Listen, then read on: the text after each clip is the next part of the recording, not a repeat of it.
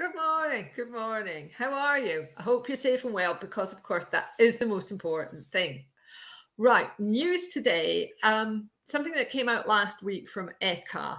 You may be involved in testing for REACH. And if you are, you may have heard of EOGRT, EOGRT studies. That's extended one generation reproductive toxicity studies. Now, these things are like almost a super tanker of an animal test.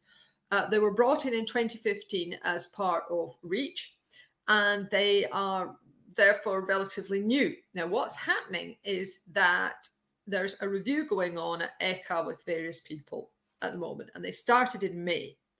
So last week, they decided that there was enough information already that is partway through their review of this relatively new test to be able to give out some advice for people who are going through this test, or rather, companies who have done this. Now, bearing in mind, it takes about two years to do it, and about 1,200 animals are involved. So this is this is a massive, massive sort of test. Um, so they they have said things like, "Oh, you've got to make sure you're using the correct dose," and various other things. Now, I'm going to put the link below this video just now.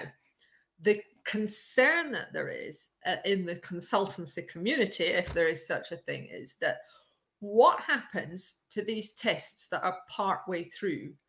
You know, do we have to wait till the end of them and then ECHA turn around and go, "Sorry, that's not good enough"?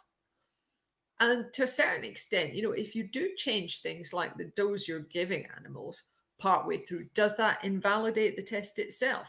So there are lots of question marks over this, and it does seem to be a bit, um, I don't know, a bit unreasonable to expect companies to suddenly change course when you've got this really long test going on. The good news is uh, as uh, Stephen Bounds, uh, one of my colleagues, says, is that most tests that have started recently are already aware of things like needing to have a, a big enough dose. Um, but uh, there is still that question mark hanging over everything of are we going to find that we get to the end and we're going to be told to do it all again? And uh, when I was explaining to Mike about this, uh, my husband, he said, hang on a minute, I thought REACH was supposed to reduce the amount of animal testing. Well, exactly. Anyway, uh, on much pleasanter matters, although politically incorrect, the uh, Dick Emery reasons to be cheerful today uh, is about Hetty, his lonely spinster. Excuse me, madam, miss. if you're the right age, you'll know what I'm talking about. And this one is Social Life.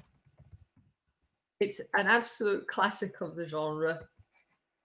Uh, and I hope that uh, you watch it in the spirit that it was intended. This was long, long before political correctness arrived. Ah, happy days. Okay, I'll hope to see you tomorrow. Stay safe and well till then, and uh, take care of yourselves.